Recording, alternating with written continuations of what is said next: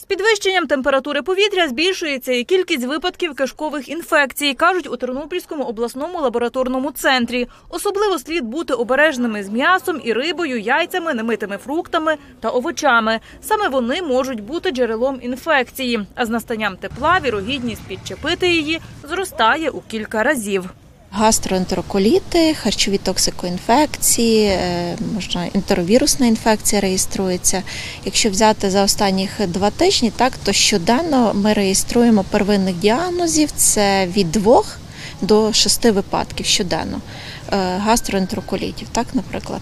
Заразитись кишковою інфекцією дуже просто, кажуть у Тернопільському обласному лабораторному центрі. Досить не помити руки після вбиральні чи поїздки у громадському транспорті. Ще одне джерело небезпеки стихійні ринки. Їсти щось куплене у спеку з рук це майже 100% гарантія захворіти, застерігають медики і радять купувати тільки в магазинах. При цьому обов'язково дивитись, як зберігають товар і на термін придатності продуктів, що швидко псуються. Для кишкових е, інфекцій характерний фекально-оральний механізм передачі, тобто питання безпечності, якості харчових продуктів е, є проблема зараз, е, і відповідно це питання.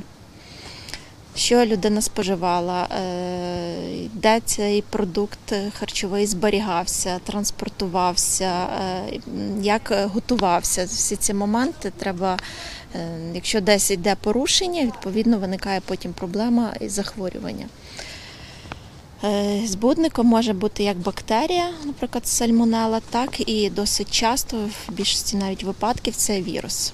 Щоб не заразитись кишковою інфекцією в спеку, епідеміологи найперше рекомендують добре і ретельно мити руки з милом якомога частіше, мити та обробляти свіжі овочі, зберігати продукти, що швидко псуються, тільки в холоді, не купувати продукти на стихійних ринках, а також ні в якому разі не їсти те, що викликає щонайменший сумнів.